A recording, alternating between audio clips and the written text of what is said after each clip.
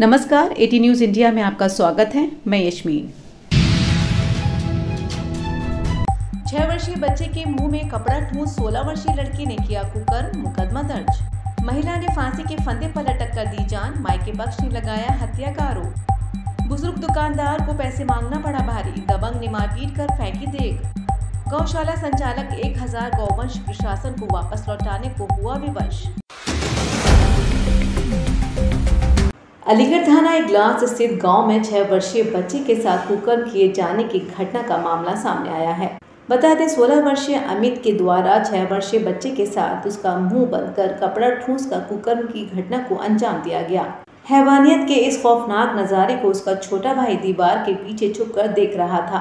इस दौरान दरिंदा लड़का उसके भाई के साथ जब ज़बरदस्ती कुकर्म कर रहा था तो उसका बड़ा भाई दर्द से तड़पता रहा। वहीं आरोपित लड़के ने बच्चे को पैसे का लालच देकर बच्चे के साथ कुकर्म करके आरोपी फरार हो गया। आरोपी लड़के के जाने के बाद उसका छोटा भाई अपने बड़े भाई के पास आया और उसे ले जाकर घर पहुँच गया। वहाँ जाकर चार वर्षीय छोटे भाई ने सारा वाक्य अपने परिवार को सुनाया। ये सुनकर सबके होश उड़ गए। परिवार ने तुरंत पीड़ित छह वर्षीय किशोर से घटना की सारी जानकारी ली तो किशोर ने बताया कि पाँच रुपये देकर उसने हमें लालच दिया और खेल खेल में गाँव के ही लड़के ने उसके साथ ऐसी हरकत की। जब सारी जानकारी छह वर्षीय बालक ने अपने परिवार को बताई तो उनके पैरों तले ज़मीन खिसक गई। पड़ोसी लड़के अमित के द्वारा बच्चे के साथ कुकर्म किए जाने की शिकायत लेकर परिवार बच्चे संघ थाने पहुँचे और पुलिस को लिखित में शिकायत देते हुए कार्रवाई की मांग की। सरकार भैया जी बच्चा भैया घर क्या करते ले होगा धमका के कौन ले गया धमका कर? अमित नाम है बापू अच्छा। का बच्चा है वो। ठीक है। क्या ले गए आप तुम सीधे कर्म करें जाए संगम। जा हमें तो पाँच रुपये ना पाँच रुपये दूँगे तो जान फेंक दें पैसा अब लई नहीं। फिर जिस वजह जत्ती चरी मिले वो खींच के। बच्चा भी गुरु हुआ है। फिर जाने को बजा दो छोटा बात होगा फिर जा बड़ी भाई ले खींच के ले वो जी हम तो सीधे कर्म करो जाए संगम। गलत काम भी किया हाँ उसके गलत काम किया जाए संगम। तो थाने आई हुई आपको आपने शिकायत दी है? शिकायत दी है। क्या बोल रही है पुलिस? उसमें कहीं कोई चिंता करना मिलो ना आप घर में देख देख भाई एक दो दिन में मिल जाएगा कार्रवाई चालू करेंगे आप अच्छा कार्रवाई बोल रही है? हाँ।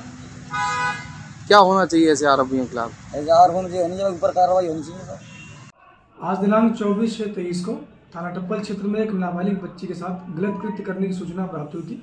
जिस पर तत्काल अभियोग पंजीकृत कर संबंधित बाल अपचारी के विरुद्ध नियमानुसार कार्रवाई अमल में लाई जा रही है तथा अन्य विधिक कार्रवाई तो उसको माननीय न्यायालय के समक्ष प्रस्तुत किया गया है। अलीगढ़ के थाना बल्ला क्षेत्र में एक विवाहिता ने फांसी के फंदे पर लटक कर ज़िंदगी समाप्त कर ली मृतक महिला के पिता ने दहेज प्रताड़ित के चलते ससुराल पक्ष के लोगों पर हत्या का आरोप लगाते हुए पुलिस को सूचित किया।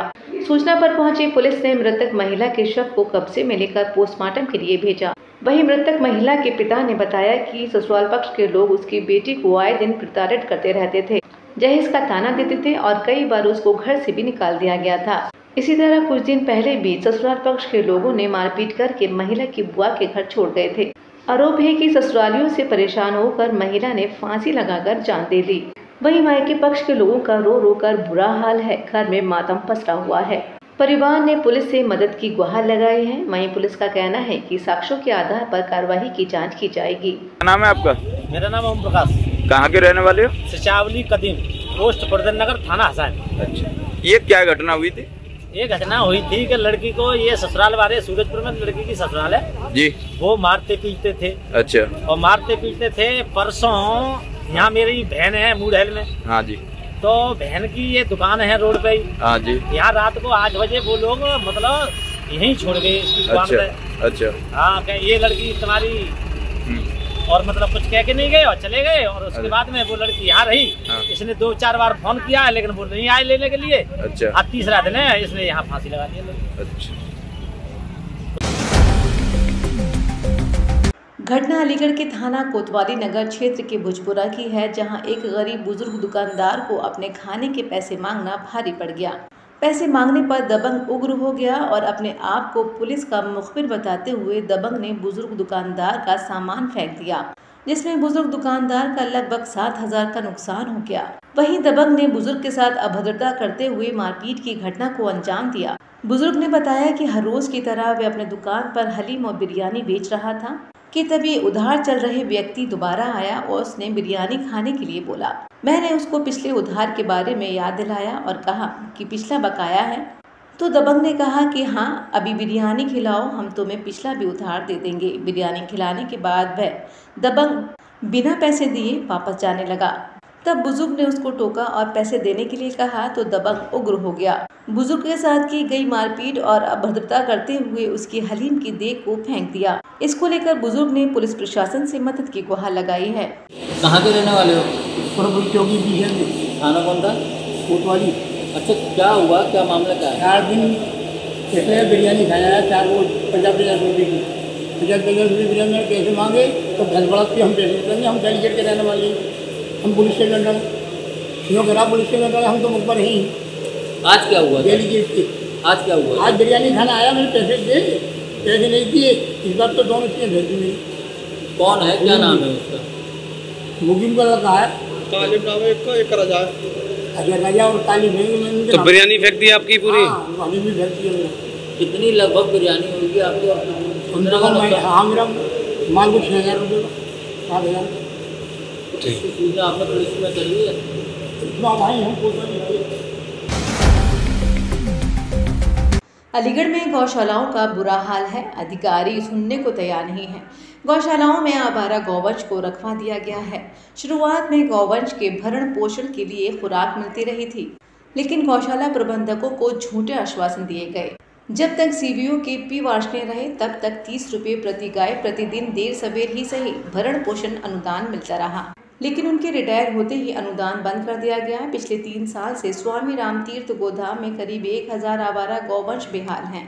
उनके खाने के लाले पड़े हैं। स्वामी राम तीर्थ गोदाम के संचालक राकेश कुमार बताते हैं कि तीन वर्षों से भरण पोषण की राशि नहीं मिल रही है। उन्होंने कहा कि गौशाला को इस हालत में देख बंद करने के लिए विवश हैं। उनके ऊपर लगे आरोपों को लेकर कहा कि गौवंश को चुराने के हम पर आरोप लगाए गए, लेकिन हमने उसके बाद भी कुछ नहीं कहा। हम अपना काम ईमानदारी से करते आए हैं और गौवंश का ख्याल रखते आए हैं। लेकिन लगाए गए आरोपों से वे आहत हैं और अब गौवंश को वे वापस करना चाहते हैं। उन्होंने कहा है कि जिला प्रशासन और मुख्यमंत्री पोर्टल पर अनेकों बार शिकायत दर्ज कराई गई, लेकिन कोई सुनवाई नहीं हुई है। गौशाला कर्ज में डूबी है, इसलिए स्वामी राम तीर्थ गोधाम के संचालक ने करीब एक हज़ार गौवंश को वापस लेने की प्रार्थना मुख्यमंत्री, जिलाधिकारी से की है। मुख्यमंत्री और जिलाधिकारी से की है। देखिए, तकलीफ़ तो हमें तो बड़ी खुशी थी कि भगवान ने हमें ये सेवा का मौका दिया और एक हज़ार गौवंश जो है हमारे राम तीर्थ गौधामों में सेवा पा रहा है। हमें तो बड़ा गर्व था। लेकिन ये प्रशासन का रवैया बहुत ख़राब रहा है।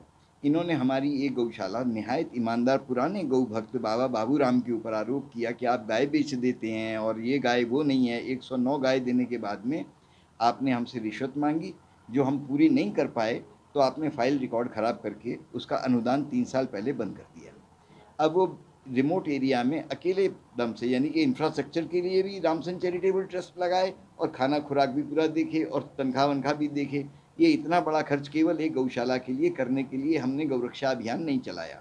हमारे गौरक्षा अभियान का मतलब है, गाय पहले अपने घर में, घर के बाद में गली में, गली के बाद मोहल्ले में, मोहल्ले के बाद शहर शहर के बाद पूरे अपने ज़िले में, ज़िले के बाद पूरे देश में, देश के बाद पूरे दुनिया में चले। हम तो उस गति से गौवंश अपना गौरक्षा अभियान चलाना चाहते थे।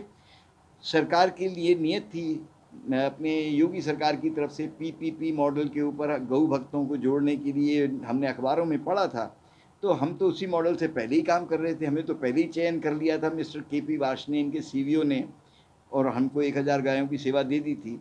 तो अब हम बजाय कि हमें प्रोत्साहन दें, हमें इन्होंने हतोहत्ताज कर दिया, इन्होंने हमारी टांग खींचनी शुरू कर दी, हमारे ऊपर आरोप लगा के झूठे, और हमारे इन्होंने जो इनका तीस रुपये प्रतिदिन प्रति गाय के हिसाब से खाना खुराक के लिए गाय को मिलता है वो भी बंद कर दिया। तो इतना जो है अपमानित होकर तो हम कम से कम काम नहीं कर सकते। हमारा कोई स्वार्थ नहीं है। हम तो वॉलेंटियर हैं हम तो अपने तन मन धन से गौ सेवा में कार्य करते हैं। बंद कर दिया है। तीन साल हो गए बंद किए हुए और इसके तीन साल में कम से कम पचास सौ लेटर जो है हमने जिलाधिकारी को और इनके जो लगता है समाधान दिवस और क्या क्या हर जगह हमने अपनी बात रखी लेकिन कोई सुनवाई नहीं है। हमारी वीडियो पसंद आने पर हमारे चैनल को सब्सक्राइब करें।